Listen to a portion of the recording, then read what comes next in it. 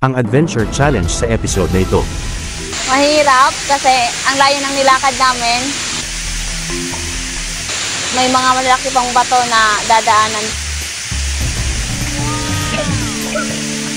So- sobrang tarik tapos may mga bangin yung mga pinagdadaanan namin kami pa lang ang unang pumunta rito sa mga falls dito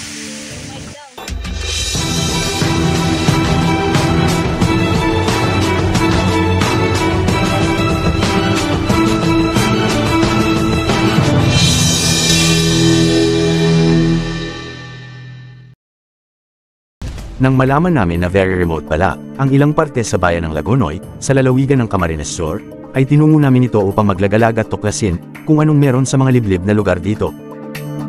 Sa mga di nakakalam, karamihan sa barangay nito ay nasa parteng kabila ng mga bundok sa may malapit sa karagatang Pasipiko. At dahil sa mga bundok na ito, kailangang dumaan sa dagat papunta dito dahil liblib pa rin ang kalakhang lupain dito. Dito din ang dahilan kasama na rin siguro ang korupsyon sa mga nakaupo sa pwesto, ay wala pa ring kalsada para makarating sa parteng ito ng Lagonoy.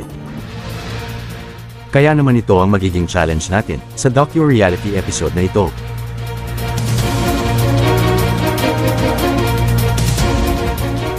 Ang tuklasin ng mga ilog at talon sa liblib na gubat sa Northern Lagonoy. Sa challenge na ito ay kailangang maglakad ng 10 kilometro na aabot sa 4 na oras. At trekking sa kagubatan na may tatahaking mapanganib na mga bangin at matutulis na mga bato paakyat. At sa pagkakataong ito ay ang fresh graduate from high school, na si Clyde Mandy ang ating magiging tour guide. Excited itong si Clyde na ipakilala ang kanilang lugar, dahil na rin sa hindi pa niya nagagalugad ang mga liblib na lugar dito. Akalain mo yun, kahit dito na siya ipinanganak ay di pa rin niya nararating ang karamihan sa lugar dito. Lalong-lalo na ang pinakamataas na talon, na kanilang pupuntahan ngayong araw. Kaya naman siya ang magiging challenger natin sa episode na ito. Sundan nyo to kami pag nagduman na kami sa falls. Maduman kami Tabanaban. At yun na, kasama ang buong barangay. Ang kanyang mga kapamilya, ilang kamag-anak, at mga kaibigan ay tumungo na ang grupo para maglagalag. At syempre, ang lahat ng kaganapan ay i-video ng indie documentarista na si Geek Adventurer. mula kami ng umaga naglakad kami galing ng barangay Gibahoy Lagunoy, Camarines Sur papuntang Caligo Mula sa kanilang barangay ng Gibahoy, ay maglalakad sila ng mga tatlong oras papuntang Karatig barangay ng Sipaco.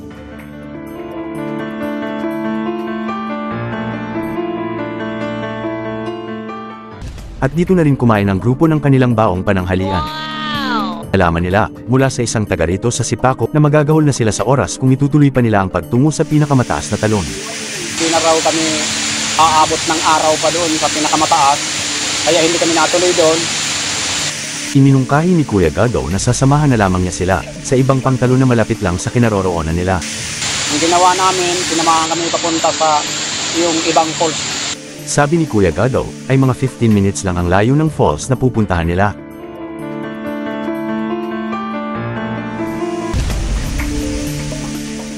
Kaso, mahirap. Dahil sa madawag ang kanilang tinahak, ay parang pakiramdam ng grupo ay 15 years ang kanilang nilakbay. Kasi ang layo ng nilakad namin.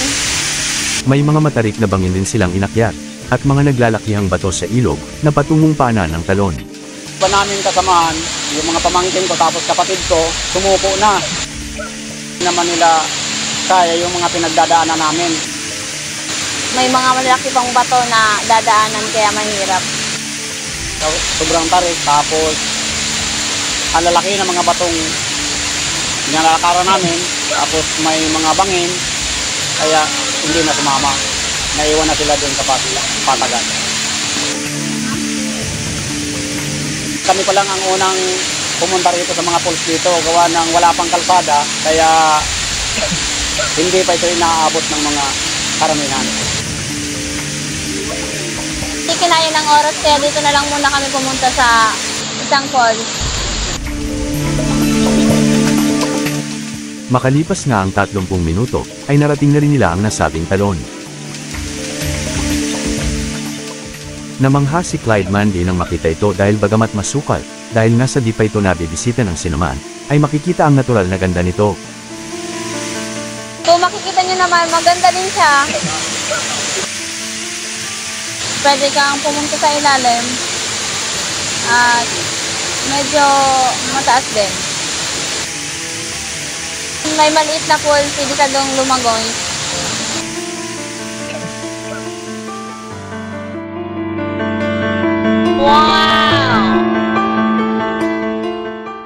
Maya-maya ay nasorpresa ang grupo nang banggitin ni Kuya Gado na may isa pang talon sa kalapit na sangang ilog.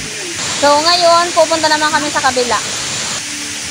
Kahit medyo nakasimangot na sa pagal, ay tumungo pa rin si Clyde at ang grupo sa pangalawang talon. So, bago kami nag nakaabot igdi sa falls na Inidoy, nagsakat muna kami sa mga gapo na haralangkaw. Dito ay mas malalaking batuhan ang kanilang inakyat para makarating sa lugar. Tapos sa pag pa, tapos may magano sa gapo, nag igwang nga abutan igdi na dakulao na kahoy. Mahiling mo doon ano. Sa sobrang kaanoan na kang kahoy, pag pag tinungtungan mo, pwede na siyang ma, pwede nang gumuho.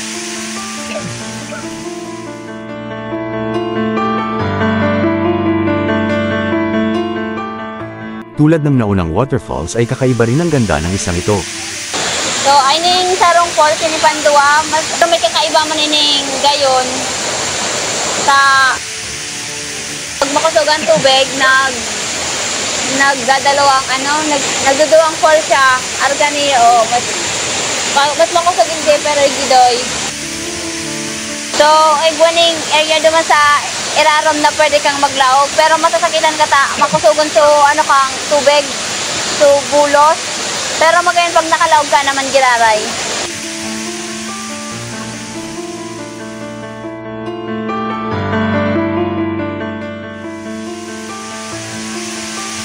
So overall, mas mas maganda yung isa pero kasi may kakaibang ganda rin naman.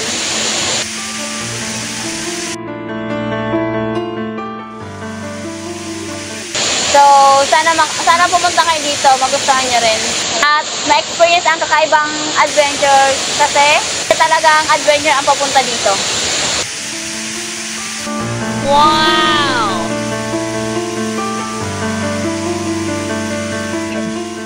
Makalipas ang kalahating oras ay naglakbay na pabalik sa sitio Cadigo ang grupo. Bagamat di nila narating ang kanilang minimithing puntahan, ay may natuklasan naman silang dalawang bagong talon, na tinawag nilang Clyde and Mandy Twin Falls.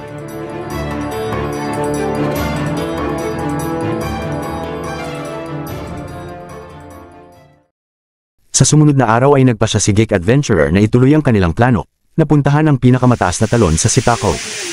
Hindi daw siya makakatulog kung hindi niya mapuntahan yung binikwento sa kanya na pinakamataas na, pinakamatarik na falls. Sa pagkakataong ito ay di na makakasama ang ating bida na si Clyde Mandy at kanyang kapamilya, dahil sa kailangan na niyang umuwi sa Gibahoy para sa kanyang college enrollment. Kaya naman ang mga naiwang hindi nag-chicken out na mga kaibigan niyang sina Desi at Risley. Ang siyang magiging panibagong challenger natin sa araw na ito. At kasama pa rin ang ating tour guide na si Kuya Gado. Ang tinuli na si Kuya Onyo At plinano namin na umakyat dito. at ang nakababatang kapatid, Dirisely na si Renren. Bale anim sila na tutuloy na puntahan ang pinakamataas na waterfall sa Sipaco. Muling tinungo ng grupo ang Sitio Cadigo dahil dito sila magsisimulang maglakad patungo sa pinakamataas na talon. Alas 6 ng umaga, umalis kami sa Sipako para, para hanapin ang pinakamatarik na falls.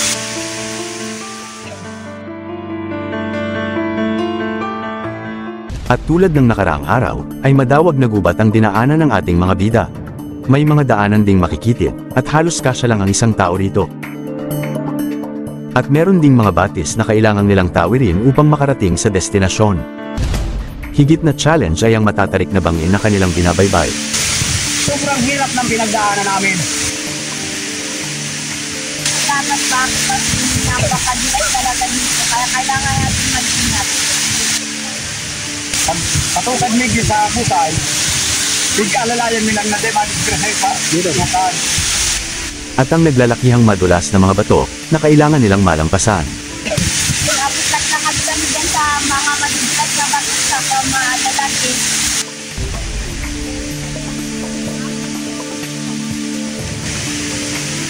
Inaalam mo muna po yung mga malalaking bato at yung mabibilas na mababaw malalaking puno.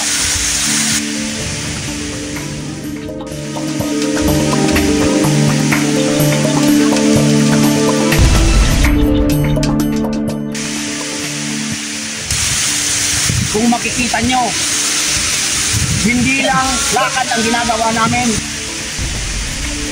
Yung mga bata na kasama ng dalakitang dalawa, bumagapang, hindi lakad. Bumagapang na pakyat. Mga ubin pa kayo, pag kiriba may ganun mga mga karakita na yun eh.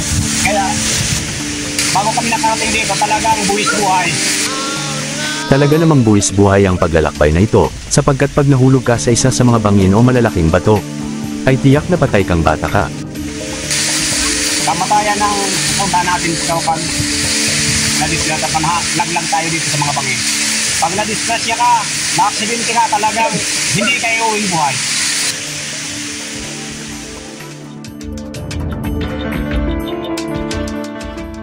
Dahil sa sobrang remote ang lugar at mahirap ang rescue.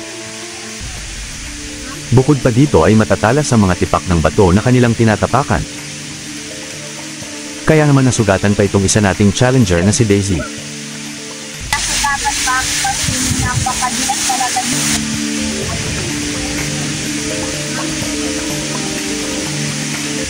Pero huwag kayong mag-alala kasi yung kinuha namin na guide, gumagawa ng paraan para safety kami at makarating kami dito walang nangyayaring at aksidente. Patuloy na naglakbay ang grupo, at habang sila'y naglalakbay ay pwede mong i-hit ang like, at mag-subscribe ka na rin. E-on mo rin ang notification bell para lagi kang updated sa mga iba pang reality adventure challenges. Sa kalaunan ay narating din sa wakas ang minimithi nilang marating na pinakamataas na waterfalls. Pagdating namin dito, nakita na nga namin yung pinakamatarik na ano, falls. Hindi lang maganda, sobrang maganda. Sadyang kakaibang hayang pakiramdam ng ating mga adventurer nang marating ang kanilang destinasyon. Parang biglang naalis yung pagod namin. Sadyang namalas nila ang kakaibang features nito.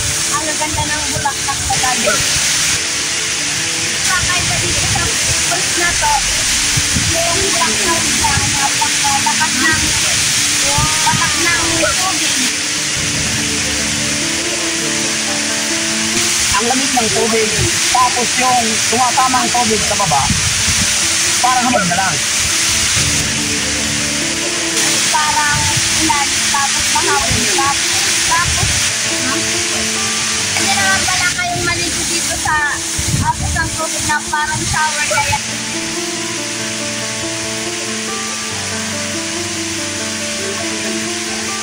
Ah, nilalamig kasi ni Rizal. Ang lamig ng hangin, lakas ng impact ng hangin. Kahit na ako hindi bata, giniginawa kita ngayon. At saka pwede rin itong inumin dahil napakalinis ang tubig. Sana yung maniwala ko, mas magayon na marinig. Pero ano, palapag lang ang kabutong na yun. Maya-maya pa ay nagsipag pananghalian na ang grupo, at isa sa kanilang mga ulam ay ang ilang mga hipon, na nahuli sa daanan nitong ating tour guide na si Kuya Gado. Hinalipad na ni Jake Adventurer ang kanyang drone para kunan ng footage ang surroundings, Eh, anin kami magkasama ngayon, para riyas kami ngayon pa lang dito nakarating. Kasi kami ang unang-unang taong nakarating dito. at dito nila natuklasan ang iba pang natural na katangian ng talon. Yung mga kasamahan ko, may nasugatan ng paa, sobrang pagod. Pag-alis namin at pagdating namin dito, parang biglang lalit yung pagod namin. Sobrang saya ang naramdaman namin. So,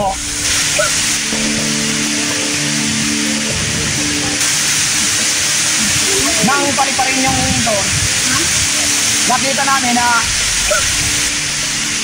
Yung taas na apat na linya daw o. hindi na namin actual na mapupuntahan kasi sobrang tarik. Hindi na namin kayang akyatin kasi sobrang tarik talaga. De bale, abangan na lang natin ang mga susunod pang pag-explore dito, dahil malamang na di na naman makakatulog itong si Geek Adventurer hanggat di niya nagagalugad ang bandang itaas ng falls. May isang puno dito na nakakaibang tingnan. Hindi namin alam kung bulaklak o dahon ang naya ibang kulay. Yun lang, yun lang ang sa aming pinagtataka kung anong klaseng puno yun. Ayan. Ito sa mga ilog na to, mula-mula, talagang bakagan ng tawag. Kaya itong falls na to, tatawagin na lang natin na, papangalanan na lang natin ng Napagkasunduan ng grupo na pangalanan ng nasabing talon na Rapiden Falls. Hango sa unang letra ng pangalan ng bawat isa sa kanila. At dahil na rin sa dami ng water rapids patungo rito,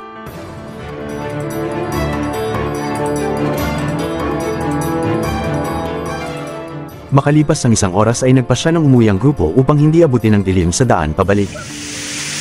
ang iniisip namin, yung pababa, kung paano tayo lumaba, kasi sobrang hirap pababa, mas maigi pa yung pa.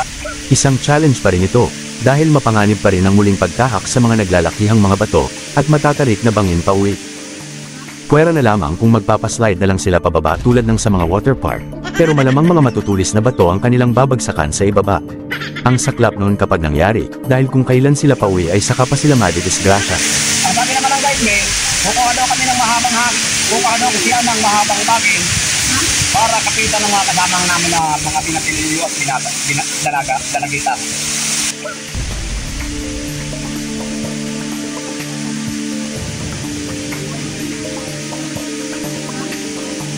Magkagayon man ay matagumpay na nakauwi ng buong buhay ang grupo, na walang masamang nangyari sa kanila.